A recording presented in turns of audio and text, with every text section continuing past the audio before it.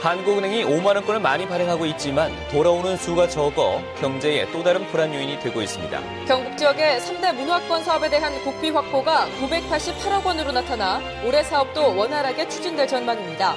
대구대학교의 갈등이 장기화되자 교육부가 총장과 임시이사를 빨리 선임하지 않으면 이사들을 전원 해임시키겠다고 밝혔습니다. 지난해 포항과 경주 지역의 기존 아파트 매매 가격이 많이 오르면서 올해 신규 분양도 많이 늘어날 전망입니다. 네, 시청자 여러분 안녕하십니까? 1월 9일 목요일 아침 대구 MBC 뉴스투데이입니다. 그동안 포근했던 날씨와는 다르게 오늘 대구와 경북 지역의 아침 기온은 대부분 영하권으로 떨어졌고요. 낮 기온도 많이 오르지 않아 종일 춥겠습니다. 어제 이어 경북 북부 동해안에는 눈이 내려 쌓이는 곳이 있겠습니다. 진달래 기상캐스터입니다. 하루 사이에 날씨가 급변했습니다. 한동안 추위 걱정 없이 지냈는데 칼바람이 불면서 수은주가 뚝뚝 떨어졌습니다. 현재 대구의 아침 기온은 영하 4도, 안동은 영하 6도까지 낮아졌고 낮 기온은 대구 2도, 안동은 0도에 머물면서 종일 춥겠습니다. 특히 상주와 문경, 봉화 등에는 한파주의보까지 내려져 있어서 건강관리와 수도관 동파 등 시설물 관리에도 유의를 하셔야겠습니다. 이렇게 날은 춥지만 오늘 대구와 경북 지역은 대체로 맑겠습니다. 다만 경북 북부 동해안은 어제와 같이 눈이 오겠는데요. 아침과 낮 사이 최고 3cm의 눈이 내려 쌓이겠습니다. 또 울릉도와 독도에는 대설 경보까지 내려져 있어서 운전하실 때 눈길에 미끄러지지 않도록 조심하셔야겠습니다. 날씨였습니다. 지난 2009년부터 발행된 5만 원권이 시중에서 사라지고 있습니다. 한국은행이 5만 원권을 많이 발행하고 있지만 돌아오는 숫자는 매우 적어서 경제에 또 다른 불안 요인이 되고 있습니다. 금교신 기자가 취재했습니다.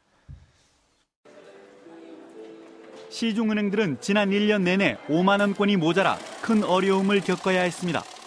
특히 지난해 5월 금융소득 종합과세 한도가 4천만 원에서 2천만 원으로 축소되자 세금을 피하기 위해 은행에서 돈을 찾는 수요가 폭발해 말 그대로 품귀 현상이 빚어지기도 했습니다.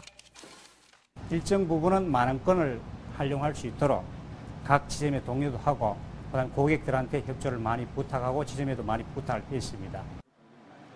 한국은행 대구경보본부에 따르면 지난 한 해 지역에 풀린 5만 원권은 모두 1조 6,300억여 원.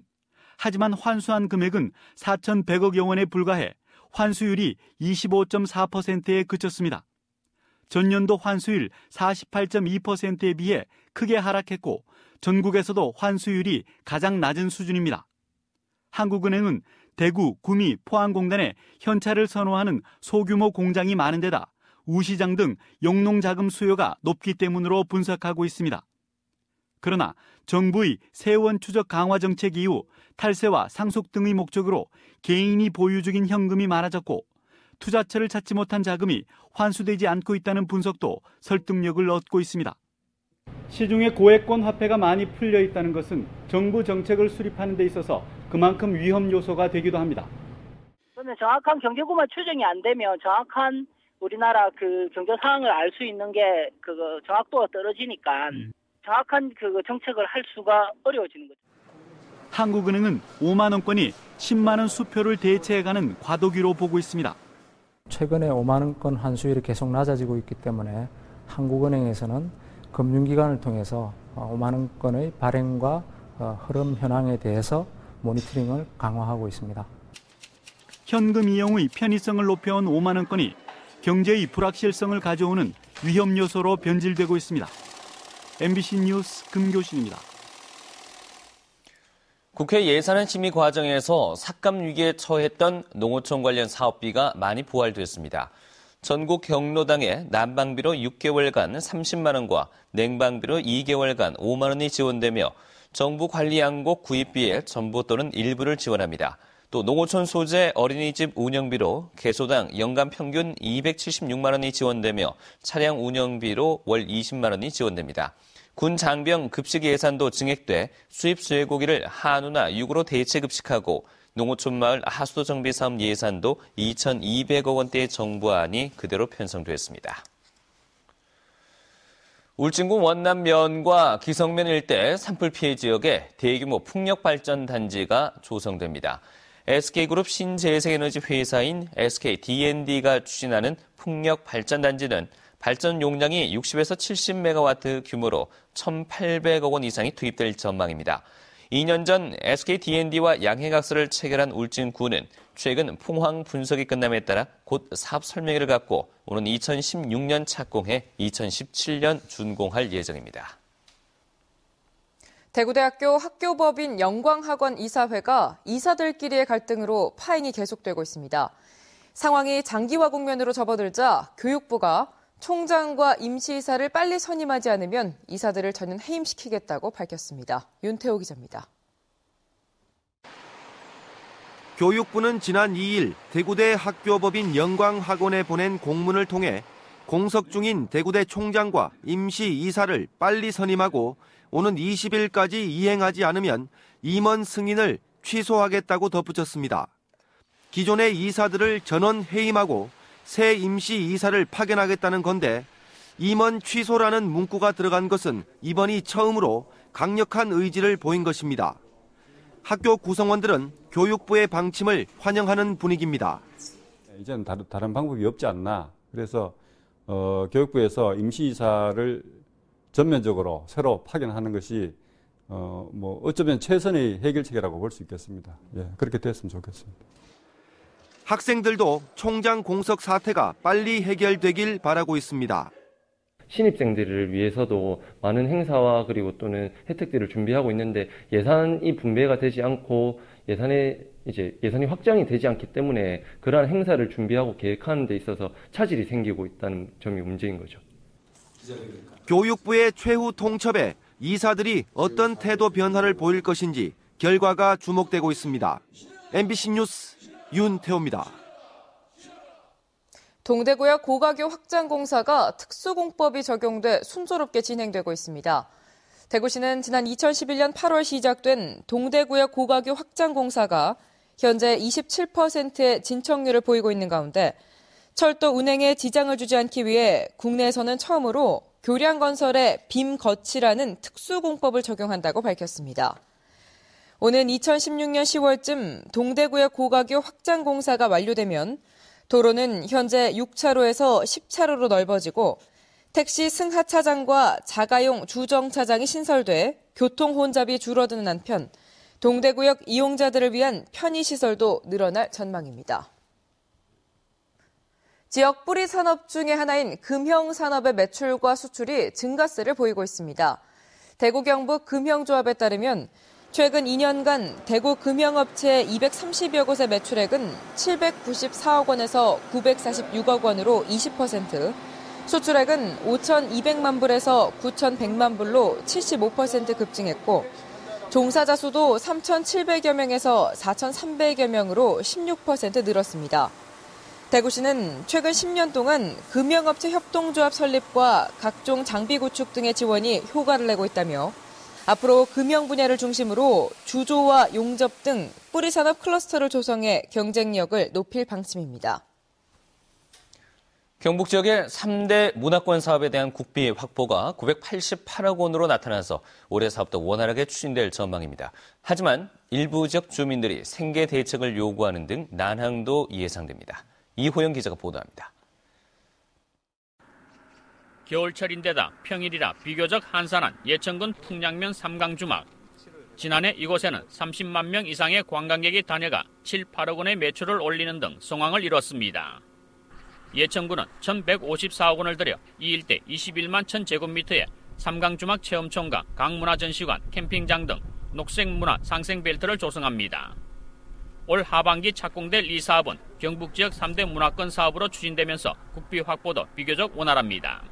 현재 30만 명 수준의 관광객을 50만 명 수준의 관광객으로 끌어올리고 지역 경제 파급 효과는 한 2천억 정도로 추정하고 있습니다. 올해 추진될 북부 지역의 3대 문화권 사업은 안동 봉화의 세계 선비 유교 문화공원과 안동 영주의 한국 문화 테마파크 그리고 문경 예천의 녹색 문화 상생벨트 기반 조성 등으로 국비만 245억 원이 투입됩니다. 하지만 예천 등 일부 지역에서는 생계 대책이 없다는 이유로 농사를 짓는 주민들이 반대하고 있어 난관에 부딪혀 있습니다. 상당수의 논밭이 편입 토지에 들어가면서 실제 보상은 출장 인사에게 돌아가고 남아있는 주민들은 생계가 막막하다는 것입니다. 논밭이 다 편입이 되면 농사를 짓는 우리 주민들이 생계 대책이 없어집니다. 그래서 그게 가장 걱정이 되는 거죠. 북부 지역 문화 관광의 판도를 새롭게 만들 3대 문화권 사업이지만 관광 개발 효과가 편입 지역민들도 공유할 수 있는 방안 모색이 시급합니다. MBC 뉴스 이호영입니다. 대구지방법원 최월령 부장판사는 알고 지내던 다방 여종업원을 살해한 54살 최모 씨에게 국민참여 재판을 통해 징역 14년을 선고했습니다. 재판부는 최 씨가 죄질이 나빠 중형 선고의 필요성이 크지만 우발적인 사건이었고 잘못을 후회하고 있다는 점을 판단해 형량을 정했다고 밝혔습니다. 최 씨는 지난해 6월 울진에서 47살이던 다방 여종업원과 관계를 맺은 뒤 말썽이 일자 목 졸라 살해한 혐의로 구속 기소됐습니다. 베트남 출신 부인이 피해에 있던 이주 여성센터에 들어가서 난동을 부린 남편에게 징역 6개월의 집행유예 2년이 선고됐습니다.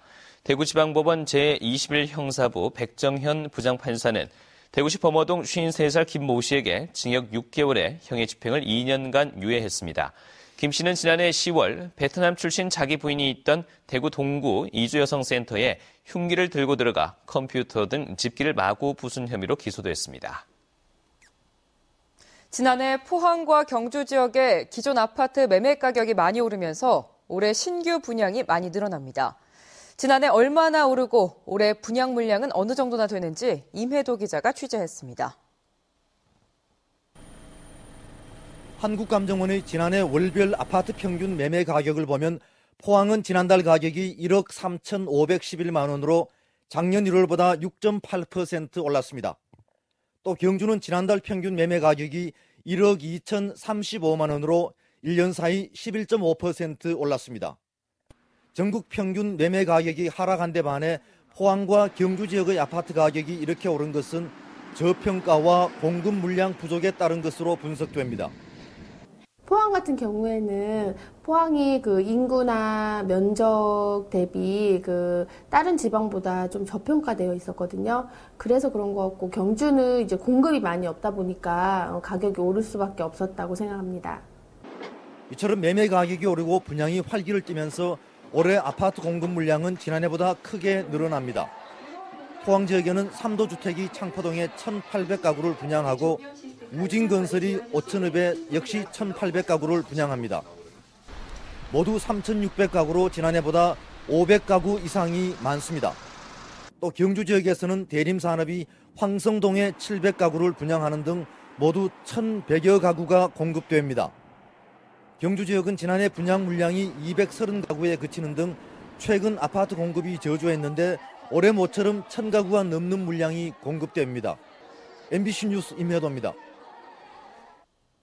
가야시대 해상 활동과 선박 건조 기술을 가늠할 수 있는 유물이 발견됐습니다. 영남문화재연구원은 지난 2012년 상반기에 경남 김해시 봉황동에서 발견된 길이 4m짜리 목재 선박 일부를 보존 처리한 뒤 분석한 결과 최소 8에서 15m 길이 규모의 선박으로 방사성 탄소 연대는 3, 4세기인 것으로 확인됐고 주재료가 삼나무인 것으로 보아 남해안을 통해 일본과의 활발한 교류가 있었던 것을 가늠해 볼 수 있다고 밝혔습니다. 문화재연구원은 이와 관련한 유물 공개 설명회를 오늘 오후 2시 연구원 보존연구동에서 엽니다. 청송 사과가 이번 주 올해 첫 러시아 수출길에 오릅니다. 청송사과 유통공사는 작년산 후지와 미시마 두 품종 30톤을 러시아 동부 사할린으로 수출한다고 밝혔습니다. 이번 수출은 지난달 공사 관계자와 사과협회 일행의 러시아 판촉 행사 이후 현지 바이어로부터 받은 첫 주문으로 지난해에도 4차례에 걸쳐 50톤의 청송 사과가 사할린과 블라디보스톡 등 러시아 시장에 수출됐습니다. 경북 테크노파크는 개발과 상용화가 가능한 스마트 기기 아이디어와 제품을 공개 모집하고 있습니다. 경북 테크노파크는 최근 화제가 되고 있는 손목 시계형 스마트 기기처럼 참신하고 실현 가능한 스마트 기기 아이디어를 갖고 있거나 제품 출시를 원하는 개인이나 팀을 발굴해 상금을 수여합니다. 신청 기간은 다음 달 18일까지며 대구 경북에 살고 있는 기업에 재직 중이거나 지역에 살고 있는 사람이면 누구나 참여할 수 있습니다. 경북 사회복지 공동모금회가 지역 복지시설과 기관 70여 곳에 사업비를 배분합니다. 경북 모금회는 지역복지 증진 사업에 공모한 지역의 75개 복지기관과 시설을 선정해 사업비 14억 2천여만 원을 지원한다고 밝혔습니다. 주요 지원 내용으로는 방과 후 야간에 보호자가 없는 저소득층과 장애아동 보호, 교육 제공과 심리정서 지원 사업 등입니다. 다음은 2014 희망 나눔 캠페인 성금 모금에 참가해 주신 분들입니다. 경산시 서부일동 경산서적 이영섭 씨 30만 원, 보고웰리치 성암아파트 노인정 회원 일동 20만 원, 성주군 금수면에서 익명의 기부자께서 14만 원, 영천시 서부동 16통 주민일동 30만 원, 가야 아로니아 강덕조 씨 10만 원, 달서구 용산동 은하수 어린이집 30만 원, 서구 평리 5동 자연보호협회 박영자 씨 2만 원, 서구 평리오동 새마을협의회에서 5만 원, 영천시 목화아파트 주민일동 20만 원, 영천시 서부동 주민자치위원회 위원장에서 17만 원, 선남면 신무일리 주민일동 16만 원, 선남면 성원 1리 주민일동 32만 원, 영천시 서부동 7동 주민일동 23만 원, 한솔 3차 아파트 주민일동 10만 원, 기빈 아파트 노인회 회원일동 10만 원, 현대 아파트 노인회 회원 일동 10만 원, 영천시 서부동 바르게 살기 위원회에서 10만 원, 영천시 서부동 김상태 씨 10만 원, 경산경찰서 성암지구대 역전자율방범대 대원 일동 20만 원 보내주셨습니다. 감사합니다.